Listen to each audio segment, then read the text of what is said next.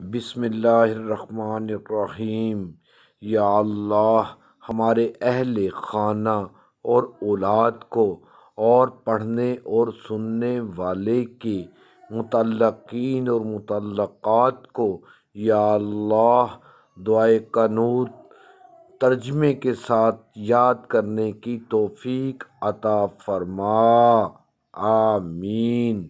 تیئیس چار اکیس، اللہ اکبر۔ بسم اللہ الرحمن الرحیم۔ دعائے قنوت۔ نماز وطر کی تیسری رکعت میں سورت فاتحہ اور کوئی بھی سورت پڑھنے کے بعد ہاتھ اٹھا کر تکبیر کہہ کر یہ دعا پڑھی جاتی ہے۔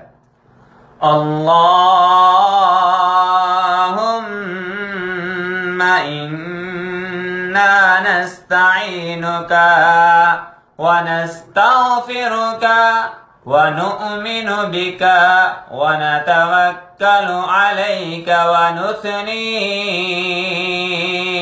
عليك الخير.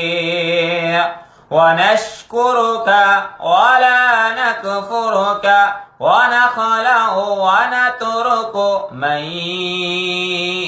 يفجرك. اللهم إياك نعبد ولك نصلي ونسجد وإليك نسعى ونحفظ ونرجو رحمتك ونخشى عذابك إن عذابك بالكفار ملحق اللهم إنا نستعينك. الہی ہم تجھ سے مدد چاہتے ہیں ونستغفرك.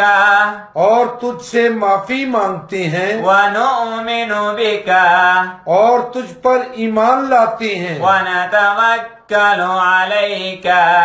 اور تجھ پر بھروسہ رکھتے ہیں۔ ونثني عليك الخير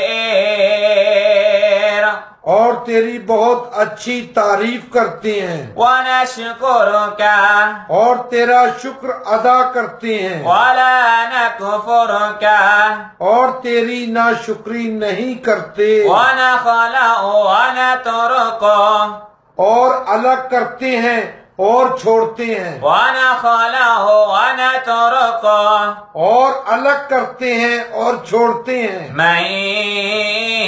يفجرك اس شخص کو جو تیری نافرمانی کرے۔ يفجرك اس شخص کو جو تیری نافرمانی کرے۔ اللهم إياك نعبد. الہی ہم تیری عبادت کرتے ہیں اور تیرے ہی لیے نماز پڑھتے ہیں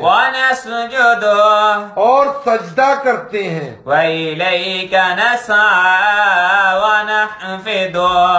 اور تیرے ہی طرف دوڑتے اور خدمت کے لیے حاضر ہوتے ہیں ونرجو. تیری رحمت کے امیدوار ہیں۔ اور تیرے عذاب سے ڈرتے ہیں۔ إن عذابك بالكفار ملحق۔ بے شک تیرا عذاب کافروں کو ملنے والا ہے۔ جزاک اللہ۔ پندرہ نو پندرہ۔ پندرہ نو پندرہ۔ اللہ اکبر۔